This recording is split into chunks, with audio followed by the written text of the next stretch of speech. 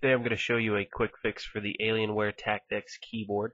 It comes with a loose spacebar which is very hard to type and game with. Now the only item you're really going to need here is just a common household butter knife.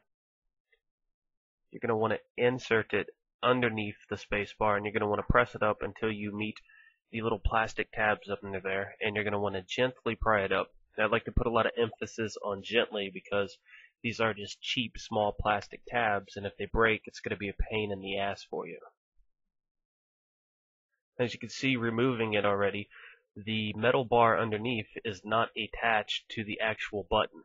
Now this is responsible for giving it leverage so that when you press on the sides or the bottoms it actually hits the contact. So we're going to take that, we're going to pry it out, and all we're going to do is we're just going to snap it back into place. Now I don't know if this is a problem that occurs during shipping, if it, they're being handled roughly, if it pops out, or if it's just a problem in the factory. But as you can see, it's not broke. All you got to do is just slide it back in there. It should take just a quick second. You want to be gentle.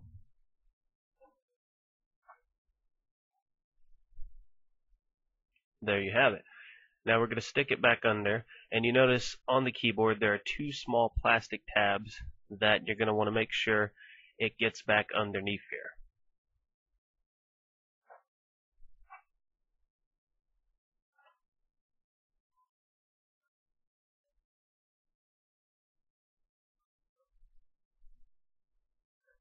And now what we're going to do is we're going to push those tabs back into place on the keyboard. And you're going to want to give it a rather firm press, but again, you know, let's not go haywire here. We don't want to break it.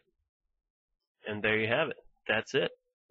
As you can see, pressing on all the sides, it fully goes down. It's no longer loose, and uh, problem solved.